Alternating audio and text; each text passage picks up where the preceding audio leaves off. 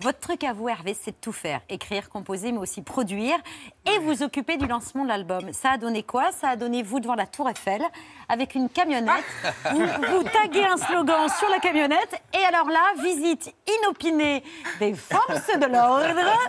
Euh, comment ça s'est terminé? Oh, bah, très bien. Ils m'ont demandé euh, simplement euh, ce que ça voulait dire. Moi, j'aurais dit que mon album venait de sortir. Et, Ils ont été compréhensifs. et roule. Ouais, ouais, ouais. Bah, c'était. À qui la camionnette? Euh, c'est la nôtre, hein. Ouais, ouais. Ah ouais. ouais, non, c'est surtout ça. je Ouais, c'est mon meilleur pote qui est dans Yann, qui est dans la camionnette là, et puis on a acheté une bombe, et puis on s'est dit bah on va faire notre petite promo quoi. C'est Darmanin qui est dans la voiture, il dit Vous aussi, vous faites cet à vous lundi C'est, euh, Ouais, non. Donc c'est bon Salut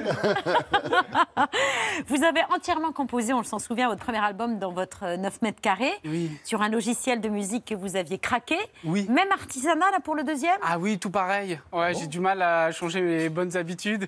J'aime bien. C'est votre travaille- ADN, quoi. Ouais, je travaille comme ça. Je pense que le logiciel a 15 ans, qu'il y, a des- il y a 100 versions Ouais, meilleures ça depuis. Fait, ça fait votre son. Oui, voilà, c'est ça. C'est le truc, c'est que je change pas de.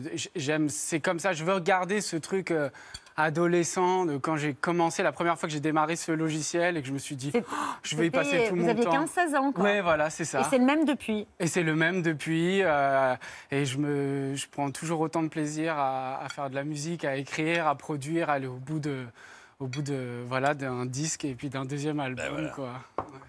Il y a de la Bretagne dans cet album, euh, puisque c'est là d'où vous venez. Et votre. Eh oui, Il y a de la vrai. Bretagne dans cet album. Il y en a, il y a de la pomme aussi. Et le premier titre d'ailleurs s'appelle D'où je viens, Oui. et avec un son euh, qui est. C'est une C'est un bombarde. bagade, ouais. C'est le son d'un bagade. Voilà, bagade, euh, je précise, c'est un ensemble de musique bretonne, donc c'est euh, cornemuse, bombarde, etc. Et moi, je danse euh, les danses bretonnes depuis que je suis tout petit. Et en fait, j'ai commencé les textes, euh, j'ai commencé par les textes cet album. Et lorsque j'ai écrit ce texte, je me suis dit, ah, ça serait génial de sampler un bout du bagade, là c'est le bagade de Vannes, et de réussir à faire une, une chanson avec, euh, bah, somme toute, une chanson française classique, quoi. Parce que c'est un rapport avec votre maman?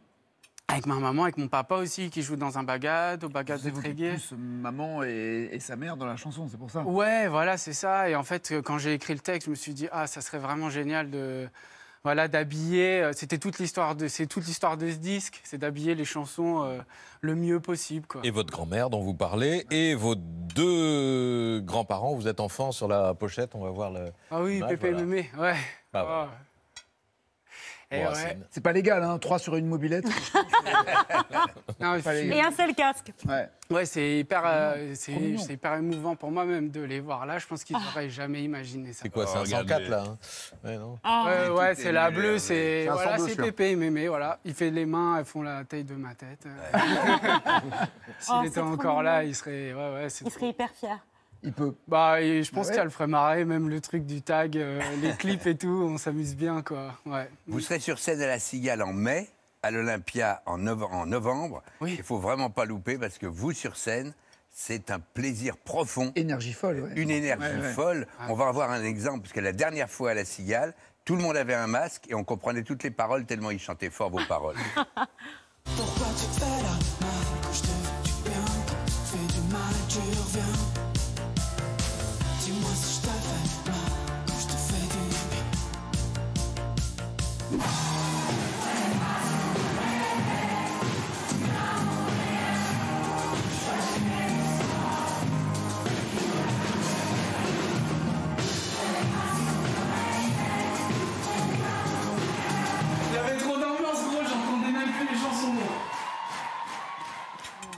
J'aime bien Hervé parce qu'il dit euh, monter sur scène, c'est comme ou monter sur un ring ou aller chez le psychanalyste. Ouais, c'est ça, c'est. euh, dans tous les cas, t'en as pour ton argent, quoi.